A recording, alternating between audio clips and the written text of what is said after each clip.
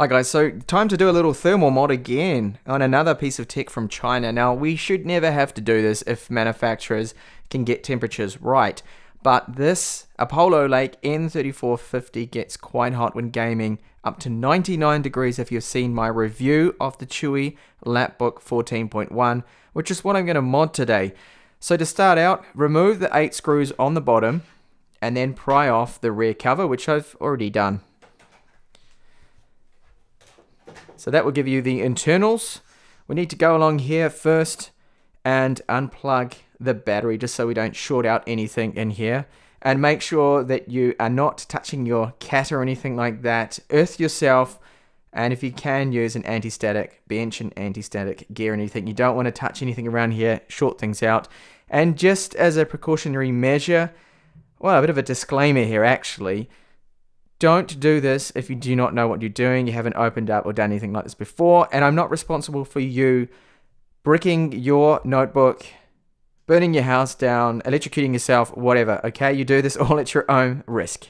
If you want to add an SSD, now is the time to do it, of course. So what you need to do is very simple.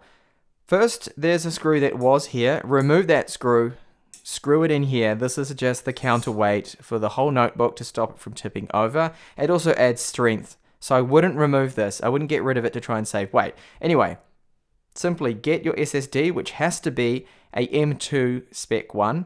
And I would use the 22 by 42 size and insert that and push that in like so. That will sit flat. You can put the rear lid back on and you won't have any problems with that. An extra step, if you're worried about this moving around, I think it will be fine in the slot, but you can put a piece of tape over the top here to hold that in place. So before we get started here, I have a copper shim. Now you can get these from eBay and all sorts of places. They're very cheap. And this dimension, the size of it, is 20 millimeters by 20 millimeters, one millimeter thick. I think this will work quite nicely. I have done this many times before.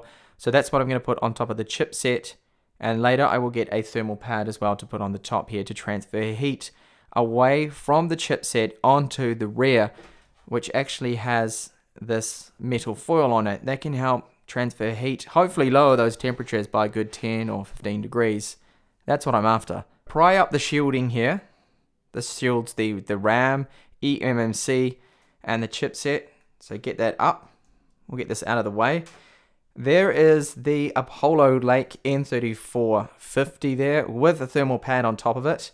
And you'll notice there's another thermal pad here on these two chips. Make sure you don't touch those. They are needed, of course. Now remove the thermal pad that was on there and then give it a clean. Now I'm using some Arctic Clean, but you can use just alcohol to get rid of any residue on there. Now the thermal pad that was on there felt quite cheap to me and it was actually starting to degrade a little. It was quite brittle. Now once you have that clean enough, put a little dollop of thermal paste. I'm going to use MX4, but any kind of paste will do. You don't need a super quality one on there. This is only in Apollo Lake. So I'm just going to put a tiny little pea-sized bit on there. Now if you go overboard here, don't worry too much about the excess because it's not, there's nothing really too close that's going to short out. So hopefully I don't put a stupid amount on like I normally do. It's quite tricky that should do it. Oh, it's looking like too much actually. Now you could also use a thermal adhesive here. Might actually be a good idea to stop this thing from moving around. So I'm going to place this on the top now. And gently does it, trying not to touch anything and short things out. And then apply a little bit of pressure. Give it a move around just so that moves the paste evenly. Pressure, put some pressure on this. Quite a bit of pressure actually. And that should do it. Now I'm going to put some thermal adhesive on the top of this so then it doesn't move when I put the shielding back on. Now to put a nice amount of thermal adhesive, this is, well it says thermal glue, same thing. On the top, a nice healthy amount so it really sticks down nice and has good coverage. Oops, it's moving around a little. That's probably enough. That's actually quite a lot of put on there. Put the shielding back on or like a heat spreader as well. So put this on the top. So obviously because this is now thicker than the half a millimeter thermal pad that used to be on there, it's not going to sit down nice and flush. So you're going to have to probably apply quite a bit of pressure to that. And push down quite hard in the middle to spread that thermal paste. Seems to be clipping in alright. Alright, I went a step further because I actually found out they've got like this heat insulator material on the top here. So we don't want that. We want to remove that so we can transfer the heat onto the back. So I got rid of that. It's really hard to get off and you can see now it looks a little bit messy. I need to clean that up. Okay, so clean that up a little. It still doesn't look very good, but I'm not too worried because I'm not going to be looking at the internals of this once I put this all back together. That's it. So I'm going to put now a 20, sorry, not 20, a 2 millimeter thick thermal pad here on the top, about there in the middle, that's where the chipset is. I mean, you could use the whole size of this if you wanted to, but I don't think that's necessary. I'm just going to put this here. And so that will then have contact with that foil on the back of the lid about here, transferring heat onto the back of the case. Of course, this is going to make the rear of the case get quite hot. That's to be expected. Now, don't forget to plug the battery back in.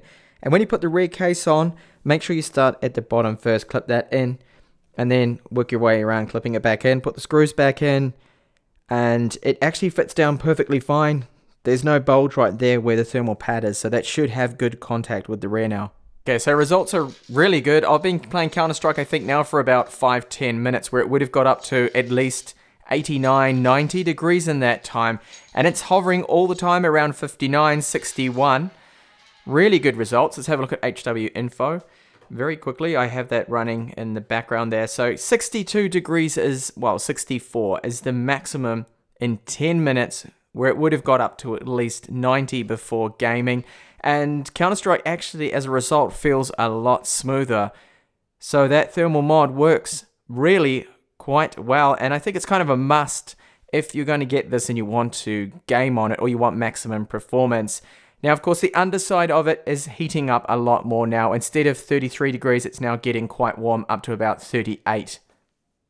And finally, after stressing it now for an hour, it has not gone over 70 degrees. So that proves that this mod does a fine job indeed of lowering temperatures a huge amount over the stock solution there.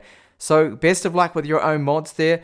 Once I've done this mod now, I feel this is one of the best notebooks at the moment for the price that I have tested out of China because now it's not getting too hot and it's got that good screen on it, good battery life, decent keyboard, decent build. Make sure you check out my full review of this particular model if you haven't already. And thank you so much for watching this thermal mod here for the Chuwi Lapbook 14.1.